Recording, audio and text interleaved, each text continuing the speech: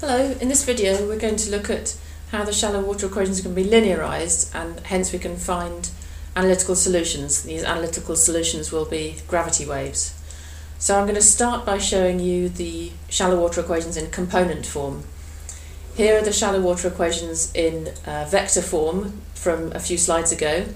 Um, if you assume that the velocity vector is, is in components u and v, two components, and the Coriolis just has one component, it's in the, the other direction, um, then we can write uh, the uh, shallow water equations in component form, which is a, a, tedious job, which I've, I've done here for you.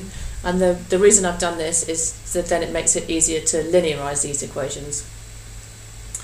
Um, li we've used linearized equations so we can find analytical solutions and so that we can analyse numerical methods to linearize, we assume that the, the wind speed is small, um, that the Coriolis force is just in the vertical direction and it's uniform. Um, we assume that the, the height h is a, a, a mean height which is uniform in space and time and variations about that h prime.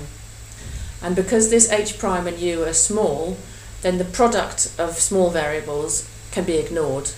Um, and that's even if one or both are inside a differential, you still ignore products of small variables. Um, for this linearization, we're going to ignore the um, height of the uh, underlying surface, the orography, and we're going to ignore diffusion. Um, so uh, pause the video and see if you could see what happens when you do this linearization.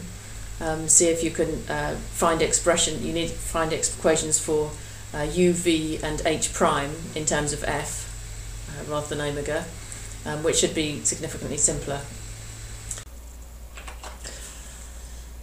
These are the linearized shallow water equations, rotating shallow water equations. So we now have rate of change equations for u, v and h prime in terms of everything is now linear on this. so We've still got Coriolis and pressure gradients and the divergence.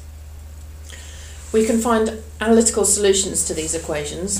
If we ignore Coriolis, ignore these two terms here, and we're also looking just in one dimension for this solution, um, these equations have wave-like solutions. These are gravity waves. Here are these solutions. Um, so we've got e to the ikx, waves in the x direction, e to the plus or minus a ikt times the square root of gh, so waves in time as well and the, uh, there's a scale between the velocity and the height, which is square root of gh.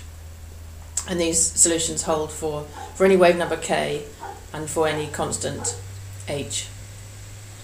Um, so waves with wave number k oscillate in space with frequency k times the square root of gh, and the wave speed is the square root of gh.